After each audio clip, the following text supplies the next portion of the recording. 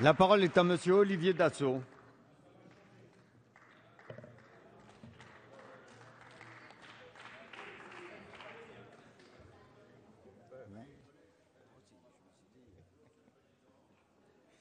Monsieur le Président, Mesdames les ministres, mes chers collègues, l'enjeu n'est pas ici l'homosexualité qui est en fait une réalité. L'enjeu n'est pas non plus l'amour homosexuel ou hétérosexuel. Les deux existent, les deux sont légitimes. Il n'est question ni de les opposer ni de les juger.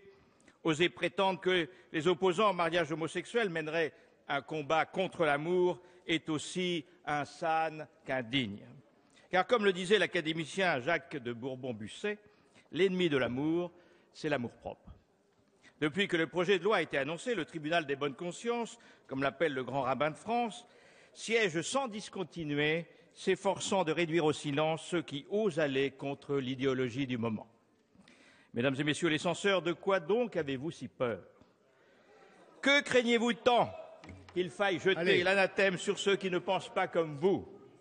Vous nous traitez d'homophobes, d'ennemis de l'amour, voire carrément d'ennemis du progrès? Vous attaquez nos personnes car vous refusez d'entendre ce que nous avons à dire?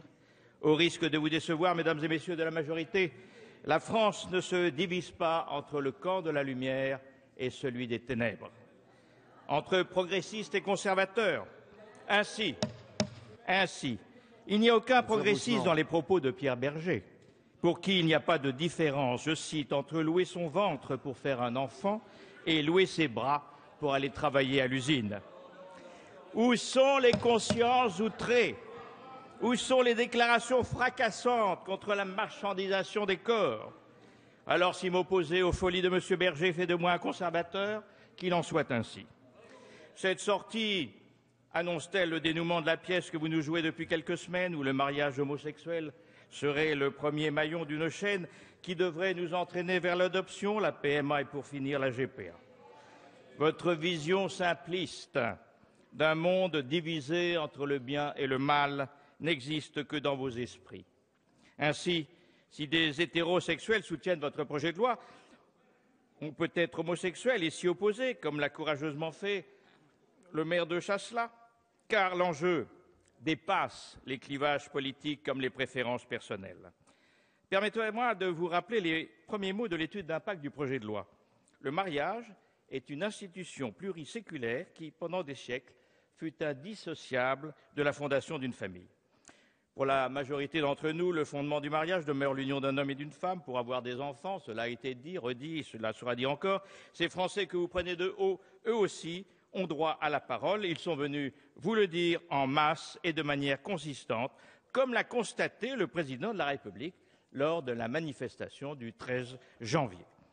En 1998, Madame Guigou, que je salue, alors garde des Sceaux, s'élevait contre l'adoption par les couples homosexuels au motif que le droit, lorsqu'il crée des filiations artificielles, ne peut ni ignorer ni abolir la différence entre les sexes des propos de bon sens qui ne semblent plus avoir cours aujourd'hui.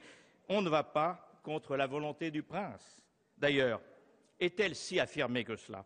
Devant les maires de France, le président n'a-t-il pas reconnu la liberté de conscience à ceux qui refuseraient de célébrer des mariages entre personnes du même sexe? Expression, il est vrai, retirée le lendemain sous la pression notamment du toujours vert, Noël ma mère, qui n'hésita pas à la qualifier de capitulation en race campagne. D'où vient d'ailleurs cette soudaine passion de la gauche pour le mariage? Celui-ci n'était-il pas une institution bourgeoise répugnante selon les mots même de Simone de Beauvoir lorsqu'elle refusa d'épouser Jean-Paul Sartre? Il semble désormais devenu l'alpha et l'oméga de la pensée de gauche. Quelle est la suite? Les anarchistes défendent les vertus de l'État Étrange époque où gauche et droite s'affrontent à front renversé. En revanche, en revanche, j'ai cosigné la proposition de loi de notre collègue Daniel Fasquelle pour la création d'une alliance civile qui offrirait aux personnes du même sexe un cadre juridique à leurs relations et une reconnaissance sociale. L'Académie des sciences morales et politiques ne dit pas autre chose lorsqu'elle recommande la transformation du Pax en union civile, une formule plus respectueuse de tous. On ne saurait mieux dire. Alors, pour citer à nouveau Madame Guigou, un couple hétérosexuel ou homosexuel n'a pas le droit à avoir un enfant en dehors de la procréation naturelle. Autrement dit, il n'existe pas de droit à l'enfant pour qui que ce soit. Une position fortement soutenue par la majorité de l'époque, si j'en crois les applaudissements sur les bancs socialistes. Aujourd'hui, pourtant, vous admettez la fiction que deux personnes de même sexe peuvent se substituer au père et à la mère d'un enfant. Notre devoir de législateur est donc de manier la plume avec une grande circonspection. Il en va des droits de l'enfant qui est, je vous le rappelle, une personne et non un objet. Alors ne nous laissons pas, mes chers collègues, emporter par les passions du moment, si fortes soient-elles. Laissons un débat apaisé reprendre ses droits. Madame la ministre, repoussez ce texte, modifiez-le, cherchez le consensus. Les Français vous en seront reconnaissants.